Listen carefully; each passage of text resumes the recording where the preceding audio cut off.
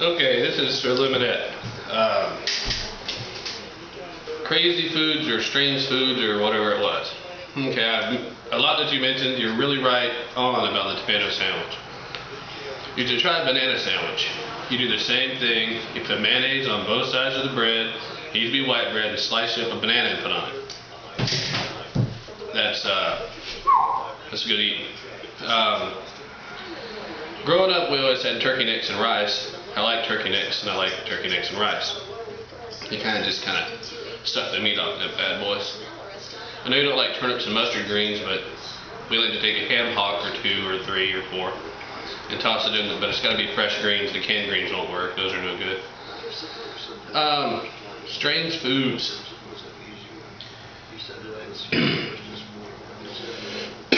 I don't like uh, I don't like sugar on my grapefruit. I put salt on my grapefruit. Put salt on my watermelon. I agree with you. The watermelon has to be cold, so it's better if it's cold.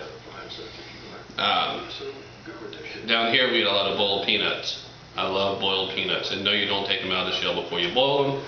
You have to get what we call green peanuts, and that means that they're not dry. They're still kind of moist right after you pick them. You put them in salty water and boil out of them. And I, I like those a lot. Um, I agree, I don't really like sugar on rice either, but a lot of people I know put eat sugar rice for breakfast, I think it's atrocious. I hate it. Um, foods, foods, foods. There's so many strange foods that we eat as a people down in the south. We eat dirty rice, that's hamburger meat and a little bit of cumin and a little bit of rice all slopped together, mixed up. Some other stuff that's good, but I don't think that's southern. I think that's Mexican, but I don't really know. Um, black eyed peas. I love black eyed peas with snap beans in them. I love black eyed peas, and I usually toss a ham hock in that too. I'm a big fan of ham hocks. They can season anything. Um,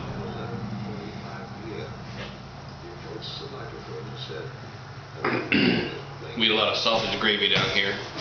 I don't know if y'all, I don't know if Yankees eat, or northern people eat that. I mean, I think boiled peanuts is my pinnacle of crazy foods that we eat, though. I don't. We we eat a lot of fried stuff down here. Um, let's see, I covered turnip greens, mustard greens, collard greens. I like to eat the turnip that comes with the turnip green. On the bottom, sometimes you get about that big. And I eat that bad boy like an apple. I love turnip greens. And I like peppers. I like green bell peppers, yellow bell peppers, red bell peppers. I like that. But I think that's a worldwide thing. Let's see other country things. We, where I live, I live on the water. So we always are eating blue crab or shrimp or something that we just catch. I don't think a lot of people eat blue crabs. If you eat blue crabs, remove the devil's fingers because it'll make you sick. If you're lucky, it'll just make you sick. I like grits. I like a big old tomato underneath my grits. I like to put my tomato down, then grits, then salt and pepper, and then eat it with butter. And my favorite meal of all times is catfish and cheese grits. I have it for breakfast at least once a week usually. I like it fried. I like my catfish fried. I like to have cheese grits on the side, maybe some hush puppies, a little bit of ketchup for the hush puppies. Catfish is my nemesis. Hell, my screen names are catfish, so I mean I'm I'm an avid catfisher person. Um, we eat oysters a lot down here. Sometimes raw, sometimes steamed. And on my tomato sandwich, by the way, I put a little bit of hot sauce on it. I like hot sauce. I like tomato sandwiches. Now I'm gonna have to go get one. Um, that's about that's all I can think of right now. There's a lot more though, and I agree with you on one of our other on the southern southernism video that we did. We talked about getting a Coke. Everything's a Coke. You want a Coke? Yeah. What kind? I'll take a Dr Pepper. That's how we do things. Um, it seeps into our southern minds that the only thing is a Coke. And there's other things too. I dip Red Seal, but I'll say, hey, I'm gonna go get some Copenhagen.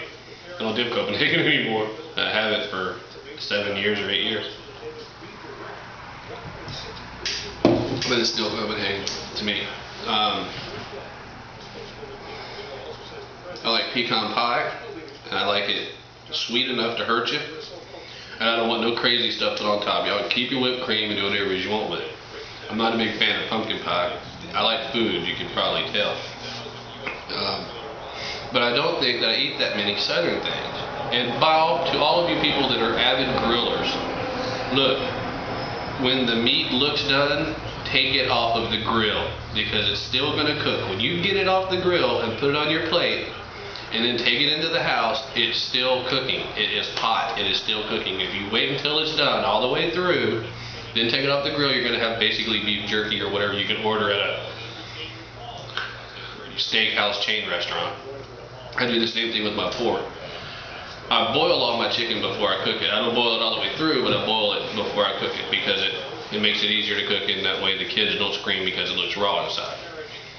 And then I take the broth and make chicken soup or season it up. I always use my ham bone when I get a big Sunday ham. I always use that ham bone for lima beans and rice. There's another one. I love lima beans. Not the little green lima beans. You buy them in a bag and they look like little rocks. They're hard. You soak them overnight. You toss a ham bone in them bad boys and you never stir them. You stir them the first time and that's it. If you stir them after that, they all it all just tears apart.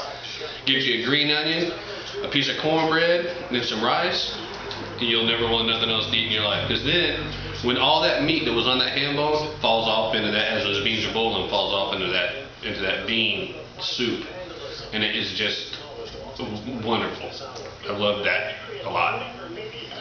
And that's gonna be it. Hi, Lemonette. How you doing? I hope everything's going good for you.